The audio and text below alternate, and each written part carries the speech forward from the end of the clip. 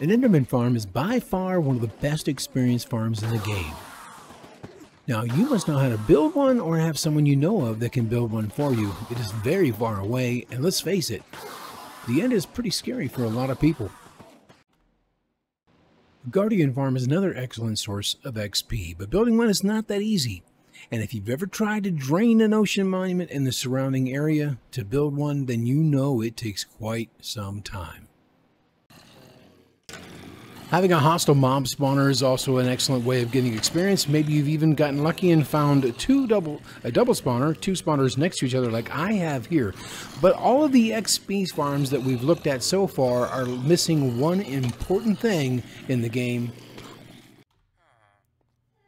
That one thing that is missing out of the equation for all of those experience farms your farms. Hi, this is VegasVic1965. In this week's video, I'm going to show you some tips and tricks on what I do to keep all of my farms running, to get all the experience I need, to, to mend my tools, to upgrade my gear, and also to get all those shiny emeralds that I use to trade with these villagers to get more awesome stuff. As you can see behind me, I've got a creeper farm, I have a couple small iron farms, I have a couple pumpkin and melon farms, and a few other small farms, but none of those are going to be running if I'm off at some experienced farm. So let me show you what I do to keep all this running and still get all those things that we talked about. So without further ado, let's find out.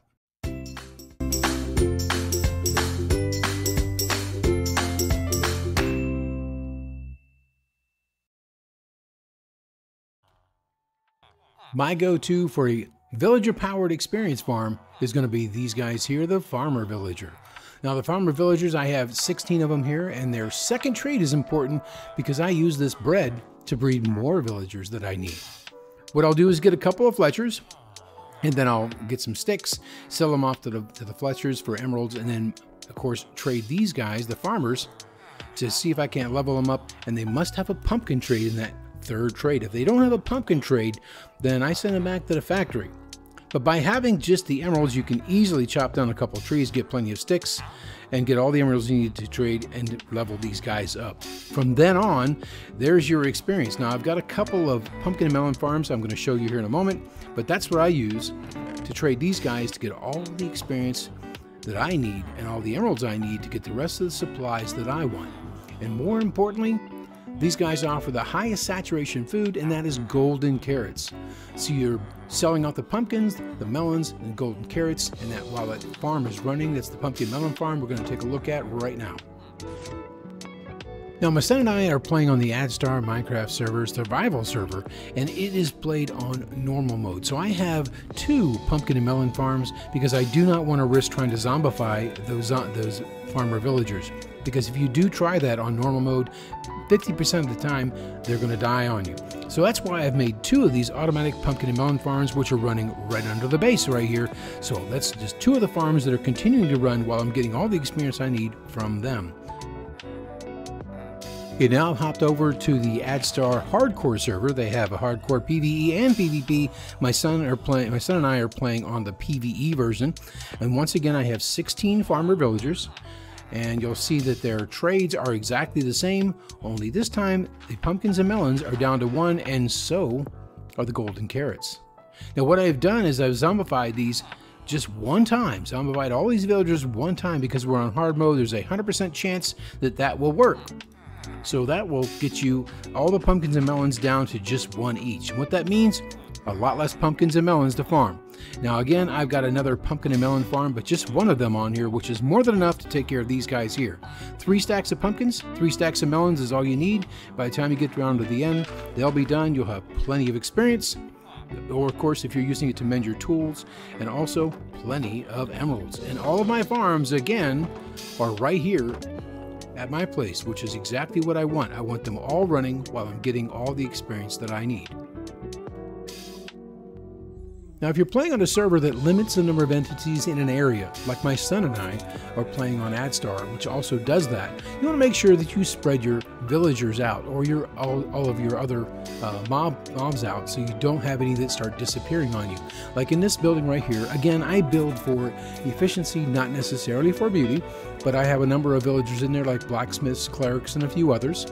In this building right down here, I have housed 64 blocks away.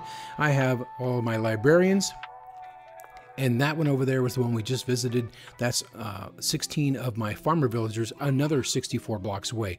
But they're all within one small area, which I have all my other farms running, like my creeper farm, our triple decker creeper farm here.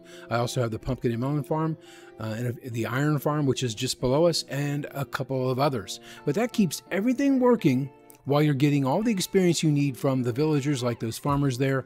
And so you don't have to head off somewhere else to get the experience, and sacrifice that time from all the supplies that you should be getting, keeping everything running. Now we're on the AlphaCraft server. Show you how easy it is for these uh, farmer villagers. Now above is all of my all my other farms. Of course, my pumpkin and melon farm are right here. The rest of my farms are still running, and I need to repair that pickaxe. So come right over to the farmer villager. We'll trade him out since he's been zombified here on the AlphaCraft server. We're playing on hard mode so I can zombify them. I needed uh, golden carrots, they also have them for just one, as I mentioned earlier. And as you can see, that pickaxe is starting to get repaired. It was pretty da badly damaged. Almost done, actually.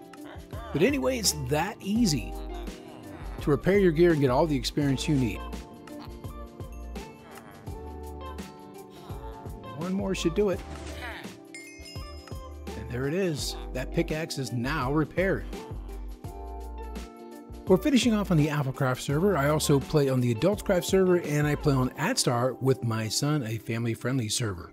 So hopefully these tips will help you in your Minecraft world to be able to do the exact same thing. And if you need any help with those villagers, feel free to check out my many videos on villagers to help you do exactly what I do on all three of these servers it makes it so much easier for experience, so much easier to mend all your tools, and also to get all those emeralds you need to buy more things from the villagers. So if you like this video, click the like button if you want to subscribe for past or future videos. Click that subscribe button, it really helps me and lets me know that I provide great quality content for you guys each and every week. So until next week's video, thank you very much for watching, and we'll see you then.